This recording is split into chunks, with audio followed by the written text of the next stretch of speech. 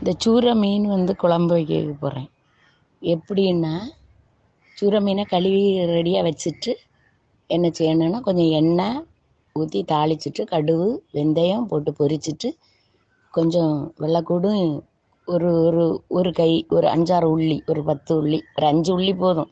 அதை நல்லா இடித்து அதை அந்த எண்ணெயில் போட்டு நல்லா வதக்கிட்டு மிளகு பொடி மஞ்சள் பொடி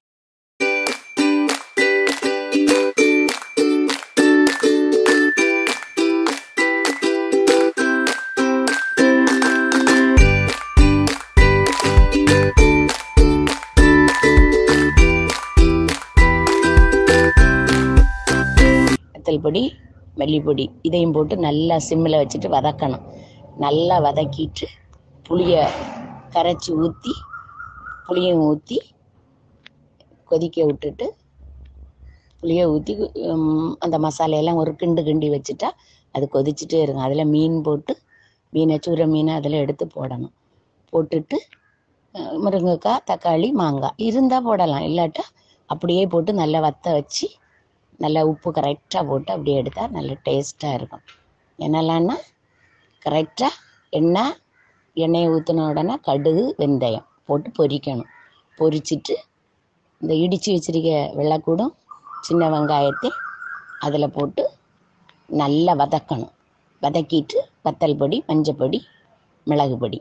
இந்த வத்தல் பொடி மஞ்சப்பொடி மல்லிப்பொடி.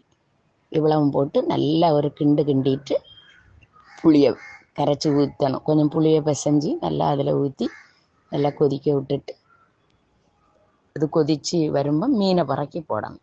மீனையும் பறக்கி போட்டு ரெண்டு பச்சை மிளகு அதுவும் கீறி போடலாம். வதக்கும் போது பச்சை மிளகு போட்டோம்னா எரிக்கும். அதனால் நீங்கள் ரெண்டாவது கா கறி காஞ்சிட்டு இருக்கும்போது போட்டால் போதும். பச்சை மிளகும் போட்டு முருங்கைக்காய் ஒரு துண்டு போட்டு மாங்காய் இருந்தால் அதுவும் போட்டுக்கிடலாம். நல்லா கட்டியாக வத்த வச்சு அப்படி எடுத்தால் நல்லா டேஸ்ட்டாக இருக்கும் சோத்துக்கு.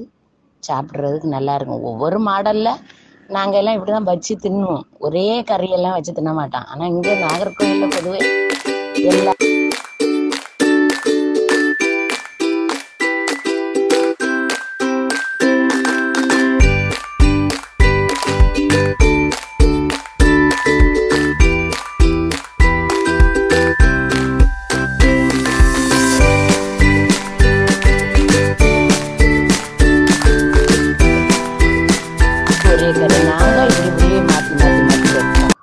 வச்சு சாப்பிடுவோம்.